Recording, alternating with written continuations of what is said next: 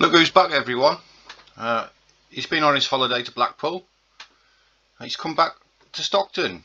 Holiday's over. Uh, he's come to bang in some more goals for us this season.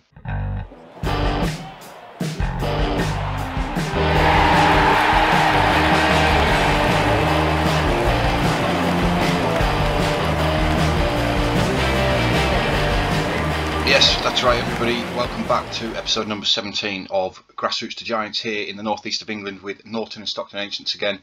Uh, I'm your host, Dean KJM, um, where Thomas Cole has decided his short stay in Blackpool for his holiday uh, is now over.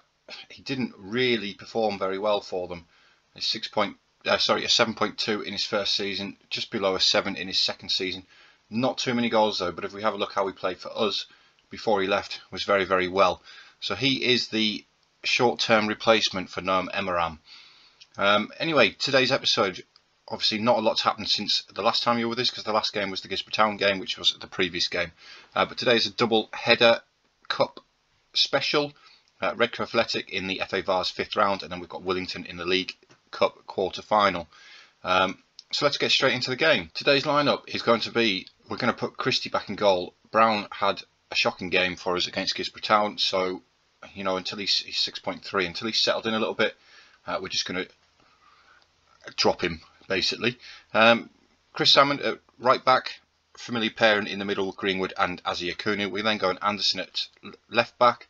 Uh, Bailey Aisthorpe uh, was complaining about the lack of first team football. I have been playing him, but apparently it wasn't enough. He came to me for saying he was very, very unhappy.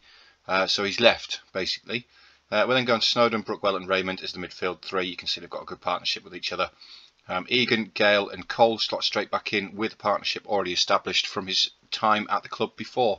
Um, so that's going to be starting lineup. Realistically expecting a comfortable win against Redcar Athletic. They are in the same division as us, uh, which as you all know is a division that we are pretty much dominating. Uh, we're just going to tell the boys we've got faith in them. Obviously Thomas Cole should be familiar with how we play. Proven goal scorer, uh, for us. Let's just drop that down uh, and let's get into it. Let's get the latest scores on this one. No, not event updates. Scores. Uh, so we can see how everybody else is getting on. Again, still not entirely sure who's good, who's not. Um, you see Tow Law still in there. Uh, AFC Blackpool, who we have just brought Cole back from, uh, still in there. Kendal are in our division. Uh, they're not doing very well though. Of course, they were relegated from Tier 8 last season. Um, it's been a very quiet game for us so far in terms of highlights. We're approaching half an hour and we haven't had one yet.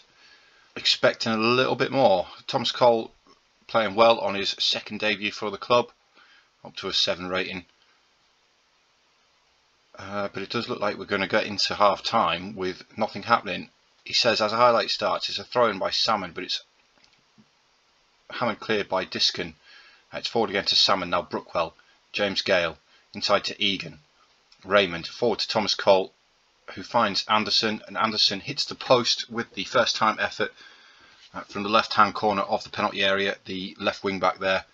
Good effort, uh, just not quite good enough.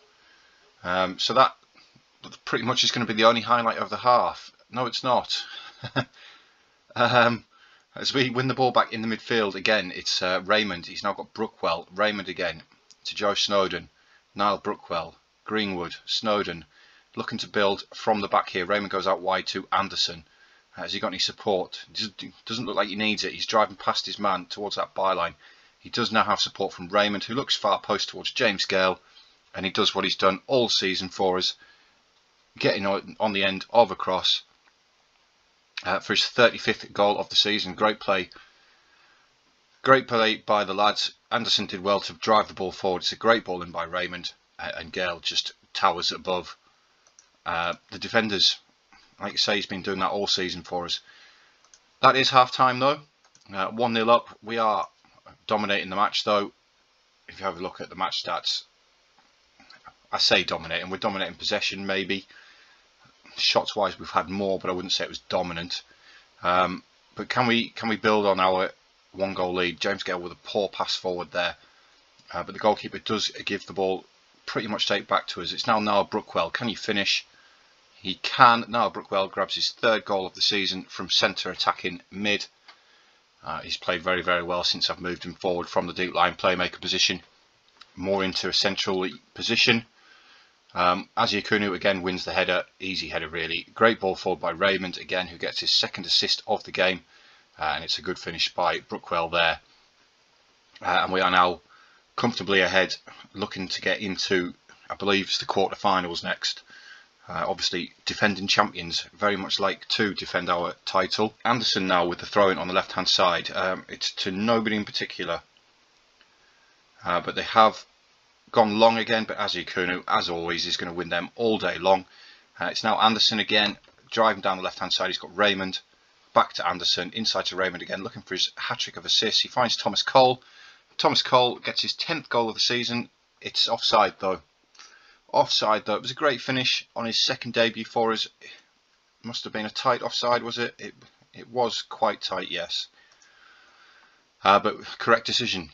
Uh, I've just noticed we've got a 6.5 rating in there. I might have to have a look and see who it was and make a change. Let's quickly... It's Jack Egan. Jack Egan's not had the best of games. We might look to bring him off uh, in a couple of minutes after this highlight. Um, it's now Redcar Athletic are moving forward. It's a nothing cross, which is comfortable for Christie to claim. And he throws it out to Anderson, the left wing back, who goes over the top towards Thomas Cole. It's now Thomas Cole driving towards the byline. He's fouled. It didn't look like a foul to me. It looked like a good tackle there by Arnold. Um, Thomas Cole is going to take the penalty though on his return to the club. And he does now get his goal on his second debut Thomas Cole, welcome back, old friend. Straight back into goal scoring ways. Um, can drive us forward. Obviously, losing Emiran was was a massive blow to us, uh, but we can bring Thomas Cole in as a as a replacement. It's not too bad. Nowhere near the same quality, but not too bad still. Um, anyway, Christie with the ball. He goes forward long towards Egan, who I am looking to bring off in just a minute, but Egan it's a poor effort really. He did well to get into the position he was in. Uh, he has improved slightly, but you know what? We're 3 0 up. Let's make some changes. Let's get some fresh legs on. Tom James Gales played a lot of football for us this season. Uh, we'll switch Nelson to the poacher. I need to set up in the pre-match, really. Um, we'll leave it at that for now. We'll just make the two. We'll keep one in reserve just in case. Uh, Harry Benz, of course, only his second appearance for the club. Right into the 75th minute, uh, we do have another highlight. It's Athletic with the ball with Discan. Now Walker. Walker comes back. He goes across the field towards Beswick, but Brookwell cuts the nod down out. It's now Luca Nelson. Gives the, gives the ball straight back to them. Uh, it's now ball for Redcar Athletic. Uh, ball gets the ball into the box. Wilson is unmarked at the far post. It's given offside though a little bit of a let off for us there. He was totally on his own. I don't know where uh, the left back is. He's he's just sort of left him. Um, has our left wing back there. I, I forget his name. Is it Atkinson? Anderson. Anderson. I've got an awful memory. Um, anyway, Walker with the corner. It's headed clear by Sam Greenwood. Good header away. It's Wilson though. Uh, for Redcar Athletic, he's comes back to Walker. Uh, we're putting the pressure on. We've forced them back again. Now it's Stanley uh, who gives it straight to Christie. That's that's the uh, the pressure system working there. Uh, Christie goes long, looking for Luca Nelson, but Holloway's underneath it. But Raymond wins the second header. It's now Thomas Cole comes back to Raymond. Snowden switches it out wide to Anderson on the left flank. He drives towards that byline. He comes back inside to Raymond instead. And now it's Niall Brookwell who's hit the crossbar uh, Raymond wants that hat trick of assists, but uh, good header by Brookwell. Unlucky, really. Uh, but we're now approaching the final five minutes, and we are going to be qualifying for the quarterfinals of the FA Vase uh, for the second year in succession. Um, they're, they're in penalties in that game. They're in penalties in a few of the games by the looks of it. Raymond with a man of match. He played very, very well. Of course he did. Um, yeah, comfortably into the next round. Just having a look there, there was actually four games that went to penalties. Um, Town did knock out Kendal Town, obviously Kendal the division above Tow Law. Uh, I'm not entirely sure who the other teams are, to be fair. Uh, what sort of level they're at. Another 2.25k, winning the fifth round.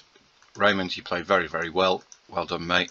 Financially, we're doing very well. We're at about £44,000 now. We're still well underneath the wage budget, which is great, but we're, we're making decent money. Um, next game is going to be Willington in the Northern League Cup quarter final.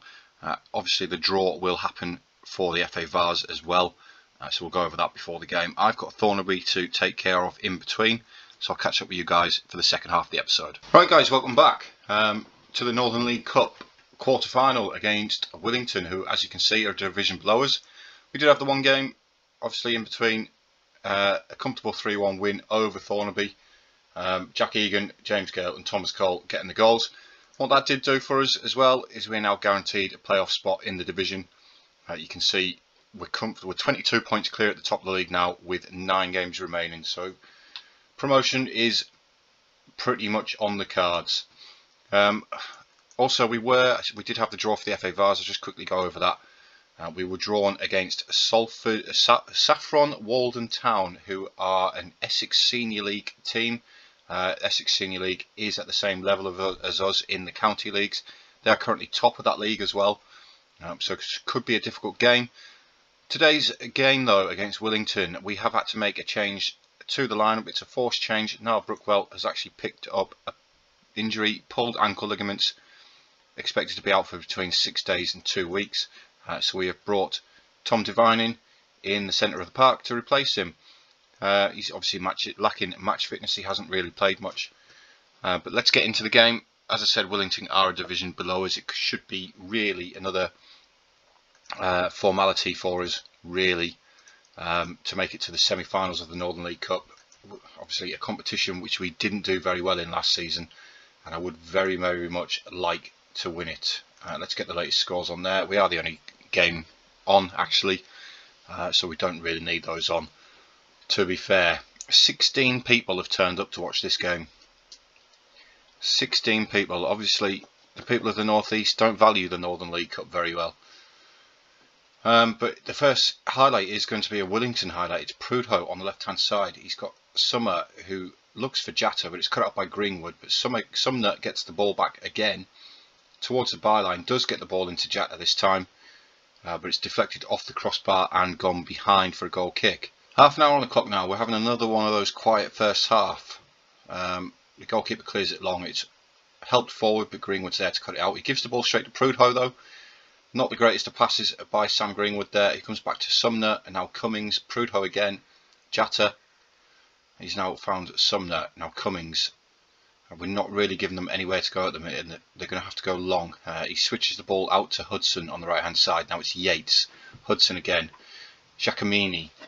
Harrison, again, we've pressed him well. We're not really giving them an out ball. Uh, we're, we're, sort of forcing them long. Uh, they have managed to find Hudson down the right hand side though. He checks back, looks for Jatta. Jatta does get his head on the ball. Difficult to score from there with a header, really. Uh, that is the half-time whistle. Quite concerningly, we haven't actually had a highlight yet. Although you can see the XG, we've had seven shots on target. Uh, but obviously nothing that Football Manager feels is of note. Um, very, very quiet first half from us. Hopefully things in this half will improve. We do have a lot of tired legs as well. Obviously we are still fighting on three fronts, so matches are still coming thick and fast for us. Um, it's now Willington again with the ball. It's Pugh to Cummings, out wide to Sumner. Um, Prudhoe inside now.